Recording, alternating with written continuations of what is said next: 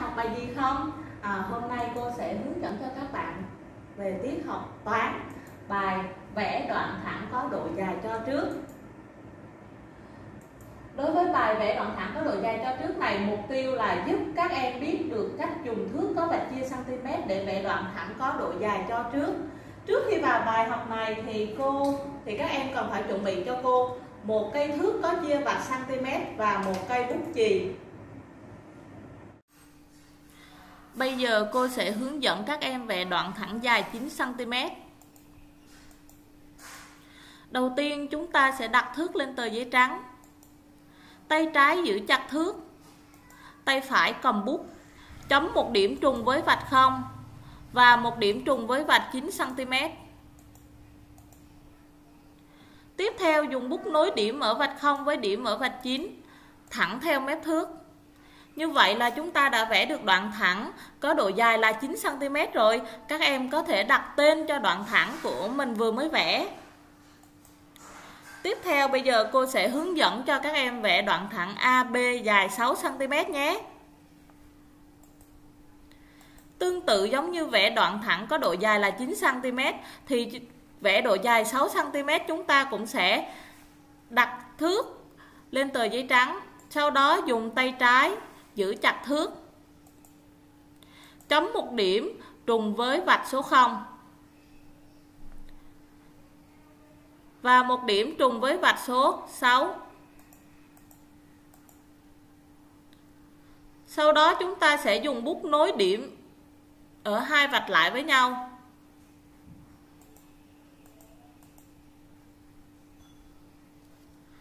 Các em chú ý khi chúng ta nối thì sẽ phải thẳng theo mép thước nhé. Sau đó chúng ta sẽ nhấc thước ra. Viết A lên điểm thứ nhất. Viết B lên điểm thứ hai. Sau đó chúng ta sẽ viết 6 cm lên. Như vậy là chúng ta đã vẽ được đoạn thẳng AB dài 6 cm rồi đó. Các em đã nắm được cách vẽ đoạn thẳng có độ dài cho trước chưa nào? Bây giờ chúng ta sẽ cùng quan sát lại thêm một lần nữa nhé.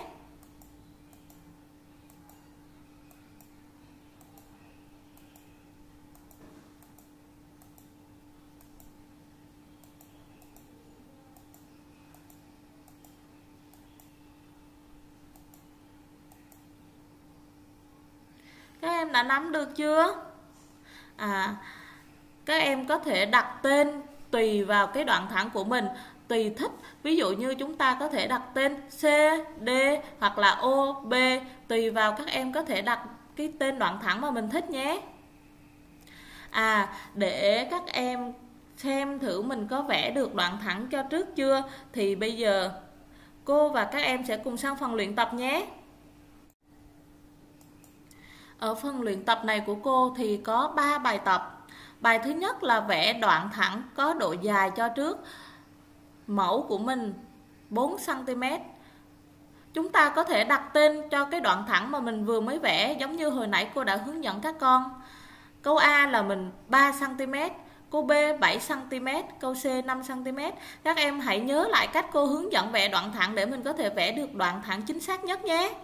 Bài 2 Giải toán theo tóm tắt sau. Tóm tắt đoạn thẳng AB 5 cm, đoạn thẳng BC 3 cm, cả hai đoạn thẳng cm. À các con hãy nhớ lại bài giải toán có lời văn cô đã dạy cho các con ở tiết trước. Thì các con có thể đặt lời giải giải ví dụ như cả hai đoạn thẳng dài số cm là? À các con có thể đặt được những lời giải khác nhau. Và các con nhớ chú ý mình làm bài giải cho cẩn thận nhé. Và bài số 3, vẽ đoạn thẳng AO dài 3cm, rồi vẽ đoạn thẳng OB dài 6cm, để đoạn thẳng AB dài 9cm. Đầu tiên các con sẽ vẽ đoạn thẳng AO dài 3cm, sau đó các con sẽ nối tiếp đoạn thẳng OB dài 6cm để chúng ta có được đoạn thẳng AB dài tất cả là 9cm. Các con hãy thử vẽ và nhờ ba mẹ kiểm tra lại nhé. Sau đó con hãy nhờ ba mẹ chụp hình và gửi lại cho cô để cô kiểm tra xem mình đã làm đúng chưa. À cô chào tất cả các con. Cô hẹn gặp lại các con ở tiết học sau nhé. Chúc các con có một buổi học thật là vui vẻ. Cô chào tất cả các con.